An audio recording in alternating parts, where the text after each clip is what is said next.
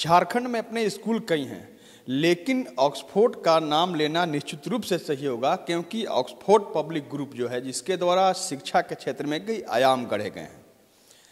राज्य के कई जिलों में स्कूल के ब्रांच हैं, गढ़वा में भी ब्रांच खुला। लेकिन सबसे बड़ी बात कि ब्रांच खुलते ही कोरोना एक ग्रहण के रूप में आया। बच्चों को पूरी तरह से शिक्षित करने का बीड़ा ऑक्सफोर्ड ग्रुप ने उठाया है। उसी के तहत, उसी अभियान के तहत ही गढ़ा में ब्रांच खोले गए थे।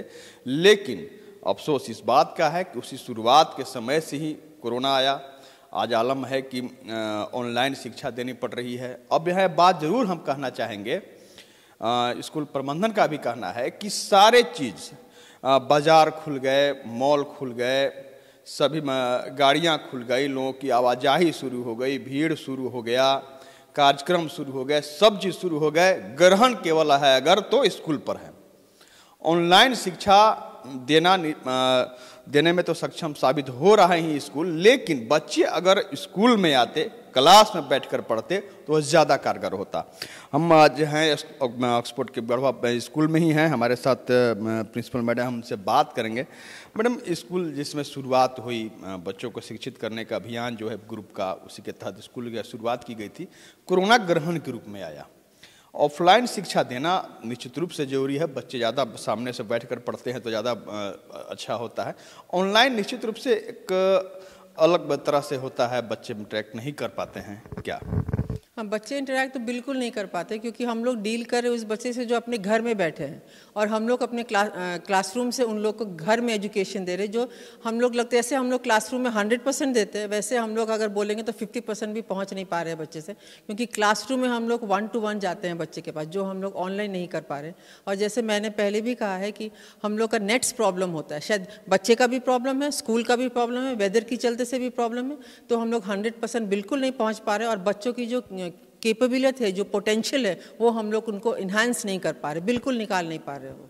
एक बात एक बार याद दिलाना चाहेंगे, हम लोग प्राय खबर किया करते हैं कि लोग गाँव में राशन लेने जाते हैं तो वहाँ पर अंगूठा लगाना पड़ता है। नतीजा होता है, कई ऐसे गाँव हैं जहाँ पर अंगूठा लगाने लोगों को पहाड़ पर जाना पड़ता है, क्योंकि नेटवर्क नहीं मिल पाता है।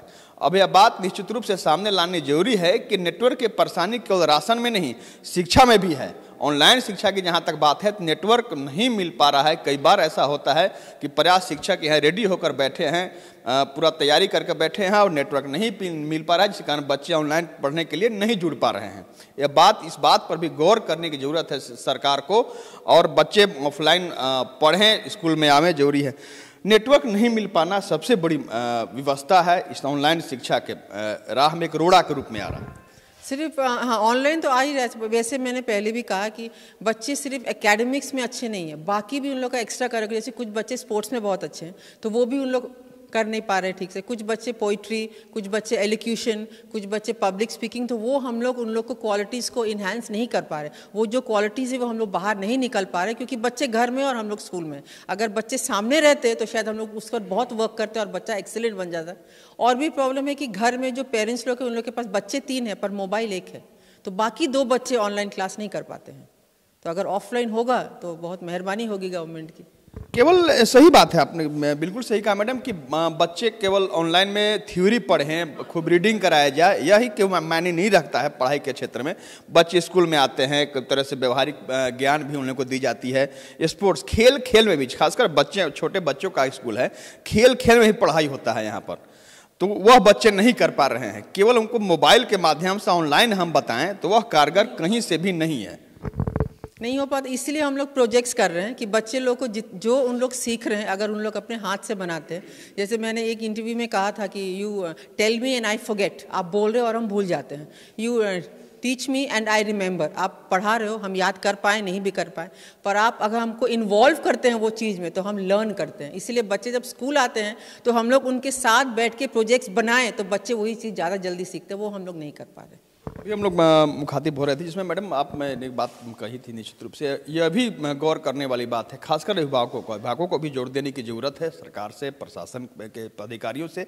वो अब अपने बच्चों को पर्व त्यौहार में घुमाने ले गए और बच्चों को अपने घर से सुदूर प्रदेश में भी ले जा रहे हैं, बाज़ार घुमा रहे हैं। अगर नहीं कहीं ले जा रहे हैं, नहीं कहीं ले जा रहे हैं, उनको परेशानी केवल हो रहा है तो वह है स्कूल।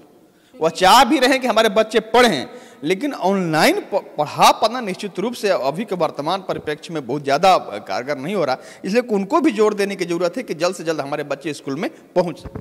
क्योंकि छठ में जब हम लोग गए थे, हम जब गए थे अभी, हाल में दो तीन दिन पहले, तब बहुत भीड़ था। मोर देन टू थाउज़ेंड लोग थे एटलीस्ट तो वहाँ तो बच्चे भी थे। तो उस वक्त अगर बच्चे को करना नहीं हो सकता है तो स्कूल में क्यों होगा?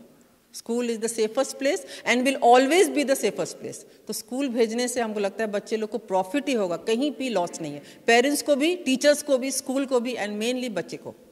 बहुत बहुत धन्यवाद मैम। हम हम लोग भी चाहेंगे कि स्कूल जल्द से जल्द खुले। आ, बिल्कुल सही बात है कि आप बच्चों को बाज़ार घुमाने ले जा रहे हैं आप बच्चों को मॉल में ले जा रहे हैं आप बच्चों को कहीं सुदूर प्रदेशों में ले जा रहे हैं वहाँ आपको डर नहीं है वहाँ आप खतरे से पूरी तरह से खुद को बाहर समझ रहे हैं। तो फिर स्कूल में आपको किस तरह का खतरा महसूस हो रहा है? यहाँ पर सरकार को भी सोचने की ज़रूरत है कि सब कुछ खोल चुके अपने बाज़ार खुल चुका, मॉल खुल चुका और बाहर के शहरों में बड़े बड़े वाहनों चल रहे हैं, हमारे यहाँ भी वाहन चल रहे हैं, भीड़ बाज़ार में शुरू हो गई, बच्चे भी निकल रहे हैं तो स्कूल खोलना निश्चित रूप से ज़रूरी है, आप शिक्षा को बढ़ावा देने की बात करते हैं तो शिक्षा का बढ़ावा कैसे होगा? केवल ऑनलाइन शिक्षा दे करके बढ़ावा नहीं दे सकते हैं, आप शिक्षा को यहाँ गौर करने की ज़रूरत है। ऑनलाइन जब राशन लेने में लोग जाते हैं तो उन्हें परेशानी आती है तो निश्चित रूप से आप समझ सकते हैं कि नेटवर्क की परेशानी इस ऑनलाइन पढ़ाई में भी होती होगी।